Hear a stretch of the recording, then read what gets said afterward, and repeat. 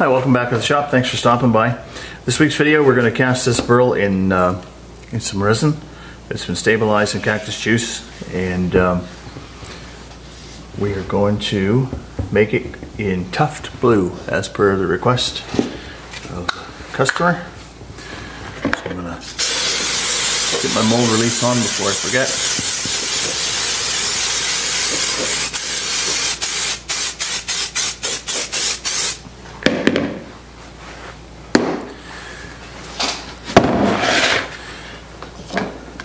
That was loud. Now I'm going to put a piece of plywood on the top of this and actually I'm going to drill that outside of there so I don't fill it full of shavings. Right in the center because this is all going to be turned out and it's not going to matter. It'll all be gone.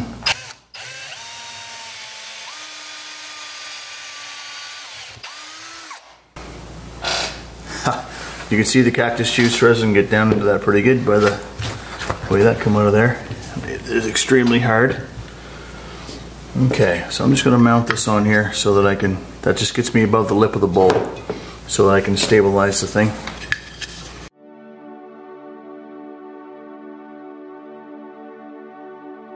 So all I'm doing here is just trying to align the height of the two widest diameters of this burl up so they're about, so they're about the same depth down in the bowl so I get an even, I guess me the biggest diameter, biggest depth bowl that I can get out of it. Is just fiber tape. It's really strong, actually. But there seems to be a disturbing lack of duct tape in my shop. Now we're going to set this aside.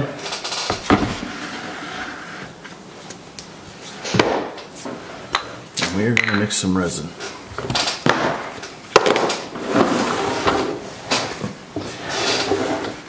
So Tuft Blue is actually very similar to what Caster's Choice calls Paradise Blue. So it's really close to that color. So the hard part is to get my base dye so that it's going to be similar to this color. And so I've got some I've got some ocean blue I'm going to try on its own. And if that's too light, I'll darken it just a little bit with some of the uh, some blue translucent, which is a lot darker. And then I'm going to put in a little bit of white pearl just for an accent. Now I'm going to mix this all in one tub. Because it's all going to go together anyhow. And I'm going to put only the A side in first and I'm going to color the A side so that I know the color that I have is what I want. I'll just keep track of how much of it I use in terms of dye. And then I will uh, be able to double that in the B side if I need to, or at least what the ratios are. That's going to be a fairly big pour. So that's the end of that A.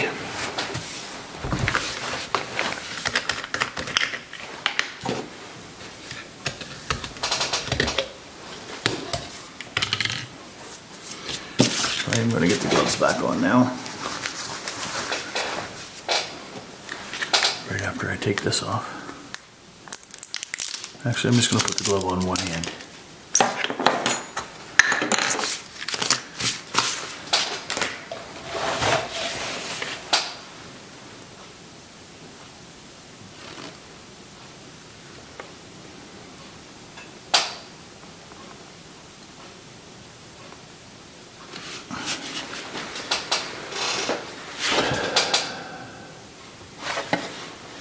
That's 1,050 grams. I'm going to put in this.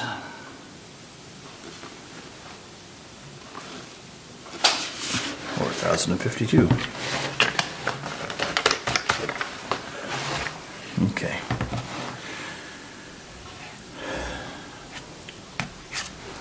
That's 1,052 container in.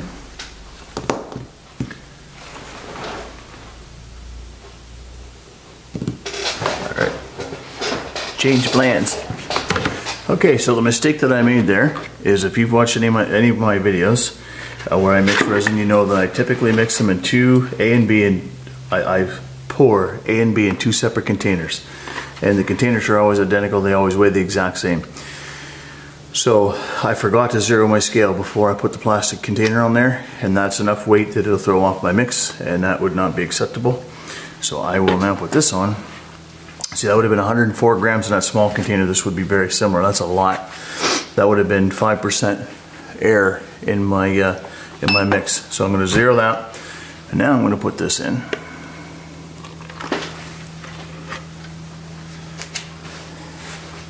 And see, I thought I had 1,052, and in actuality, I've got about 900 and change.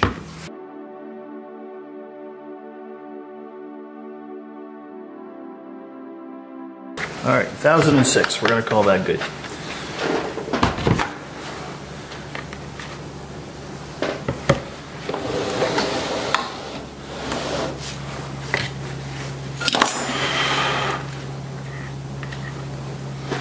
All right. Ocean blue.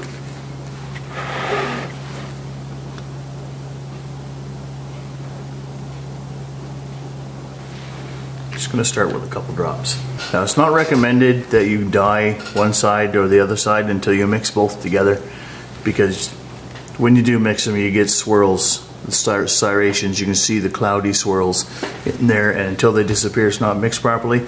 But I've mixed enough of it now that I know how long I need to mix it for. This, this mixes it extremely quickly so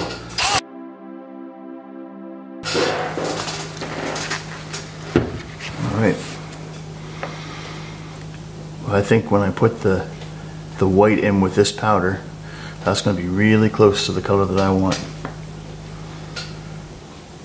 Alright, we're going to call that good to try. Alright, we're going to add 1,006 grams of side B now.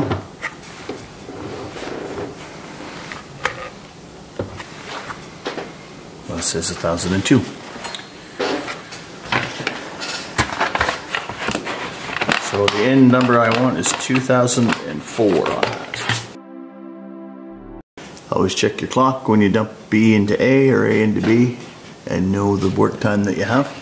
So I have 12 minutes with this, which is lots.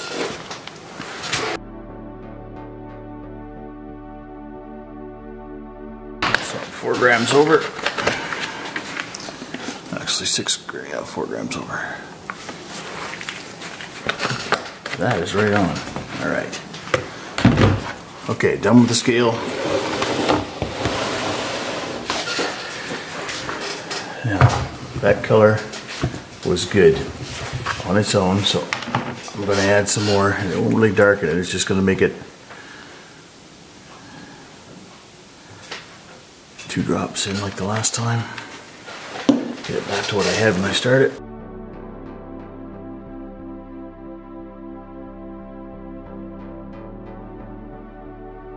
Just a tiny bit darker than this one. I'm going to try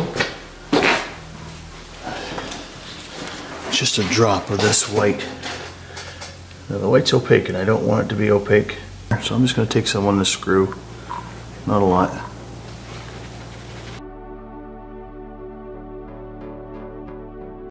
I think that's all that I want.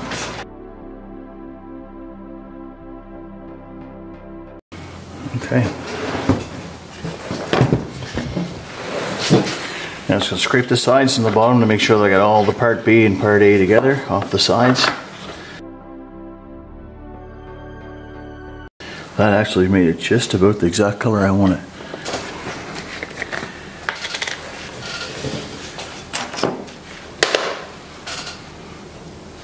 So again, set this in a little gob in the middle. Then you can push it right in with your mixer, right underneath and it doesn't go all up in the air on you.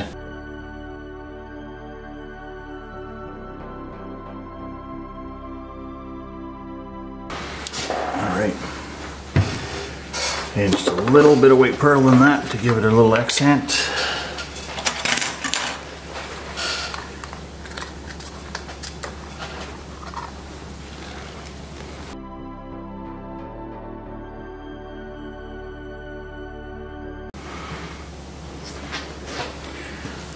How that came out.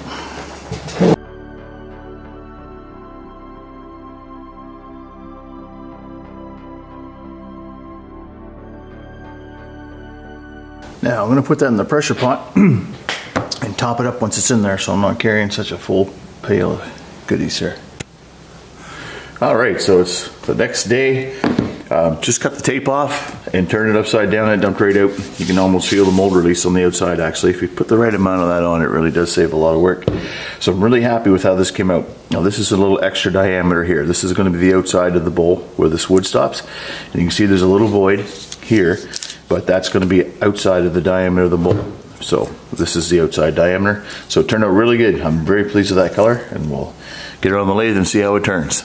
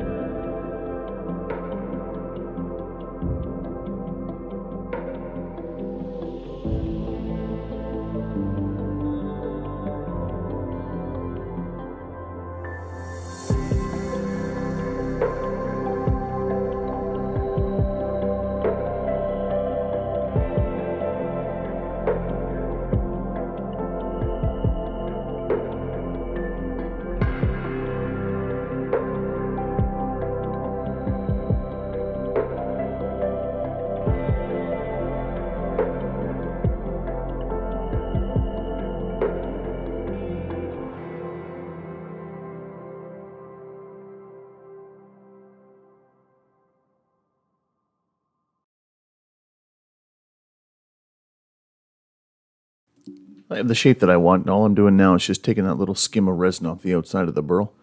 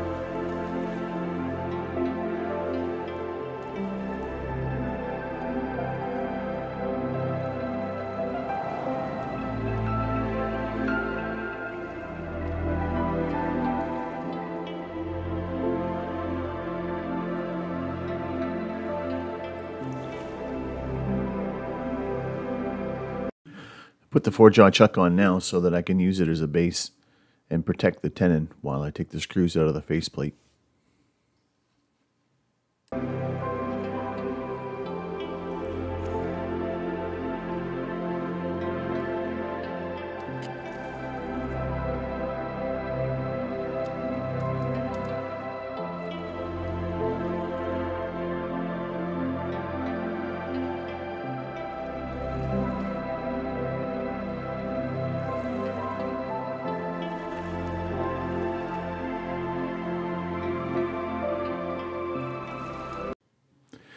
So it wasn't 100% perfectly centered when it was mounted in the four jaw chuck. And so I'm just going back and just cleaning that up and so that it is it is perfectly round now. Makes finishing a lot easier. It it's actually almost unnoticeable on the camera, but you could see it uh, live. You could see it.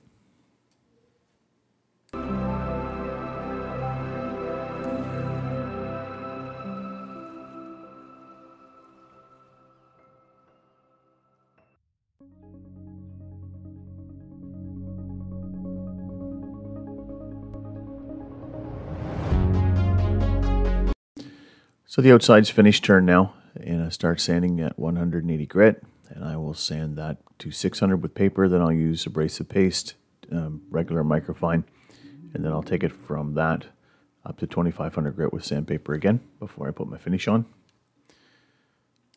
This is just a little peek after the microfine abrasive paste. So I've still got four grits of sandpaper to get through to 2500 and a, and a Hampshire sheen finish to put on after this.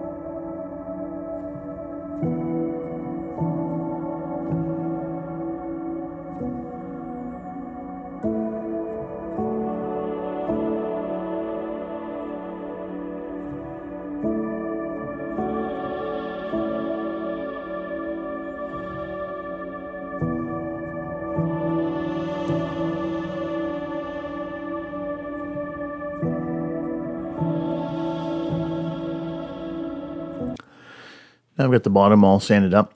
And I had a viewer ask in another video with this same shot about the lines that are on the side. They thought they might have been scratches. And what that is, is the very fine sanding dust from off the bottom going up and sticking to the sides of the bowl.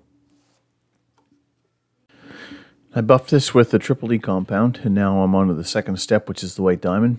So I do that all the way around the radius of the bowl, going perpendicular to the direction that the sandpaper would have been in. And at this point, there aren't any lines in the wood whatsoever that you can see uh, but there are very, very fine lines, 2500 grit fine lines in the resin. So this buffs them right out completely. So these are really nice shine on the bowl. So thanks for sticking around. If you're still watching, I appreciate it. Thanks to everyone who subscribed to the channel. Uh, if you watch this and like what you saw, please consider subscribing if you haven't already. And uh, hit that like button if you liked it. And if you didn't like it, hit the thumbs down button. And uh, leave a comment as to why, please. I'm going to put a few stills up at the end of the video, and we will see you next time.